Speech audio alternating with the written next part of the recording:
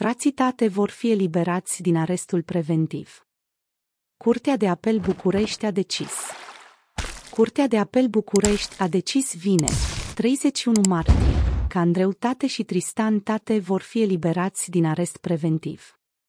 În schimb, aceștia urmează să rămână în arest la domiciliu. Curtea de apel București a decis că frații Tate vor fi eliberați din arestul preventiv. Totodată, autoritățile au decis că Andreu Tate și Tristan Tate vor rămâne în arest la domiciliu.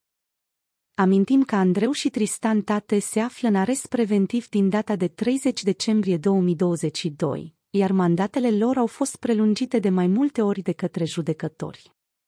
Mai mult, în arest preventiv se află și două complice, o fostă polițistă și iubita lui Andreu Tate. Andreu și Tristan Tate sunt acuzați că au constituit un grup infracțional organizat. De asemenea, aceștia sunt acuzați că au constituit un grup infracțional organizat, prin care ar fi obținut sume importante de bani. Potrivit anchetatorilor, frații Tate racolau tinere sub pretextul începerii unei relații de dragoste, după care le duceau într-o casă din județul Ilfov, unde erau obligate să producă clipuri video, ce erau postate pe siteuri pentru adulți. Procurorii DICOT au pus sechestru pe mai multe bunuri deținute de frațitate. Procurorii DICOT au pus sechestru în timpul anchetei pe mai multe bunuri deținute de frațitate în România, respectiv imobile și mașini de lux. Informațiile publicate de presă arată că Andreu Tate și Tristan Tate au o avere de aproximativ 100 de milioane de lire sterline. Anterior, Andreu Tate a declarat că are o colecție de 33 de mașini de lux, cea mai scumpă dintre ele fiind un Bugatti Chiron, care valorează 3,48 de milioane de euro.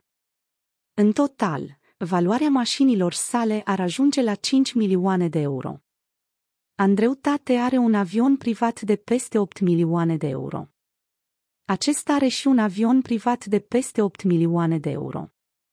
Andreu Tate deține alături de fratele lui diferite proprietăți, printre care un conac în valoare 30 de milioane de lire sterline în Marea Britanie și o vilă în voluntari, estimată undeva la 7 milioane de dolari americani. Amintim că aceste informații au fost publicate de presa britanică la scurt timp după ce frații Tate au fost arestați preventiv pentru 30 de zile în România, după ce procurorii din cadrul Direcției de Investigare a Infracțiunilor de Criminalitate Organizată și Terorism, DICOT, au lansat acuzații grave la adresa acestora.